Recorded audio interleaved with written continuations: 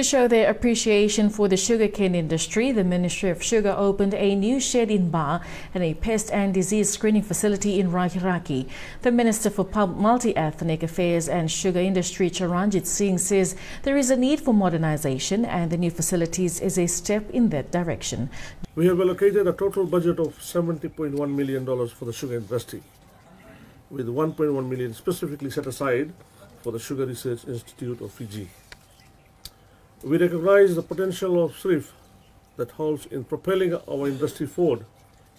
Consequently, we are exploring ways to transfer additional programs such as cane access roads in, and infill drainage to SRIF to maximize benefits to our farmers. Meanwhile, the pest and disease screening facility was also recently established to benefit the farmers.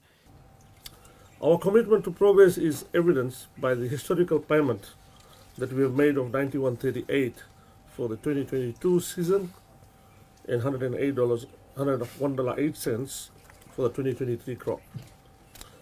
These payments pave the way for a brighter future for our sugar industry. Our government is also dedicated to increasing wages and salaries, continuously improving conditions of our workers, and acknowledging the invaluable contribution our employers, uh, employees in the sugar industry has. He says $1.1 million of the budget allocation for the Sugar Ministry will be aimed towards the Sugar Research Institute of Fiji. Today marks a significant milestone in the history of the Sugar Research Institute of Fiji's Rarawai station here in Ba. It is my great honor and privilege to officially open this workers' shed, a project that has been in the pipeline for the last four years and has finally come to its fruition. This achievement is not just about brick and roofing and iron.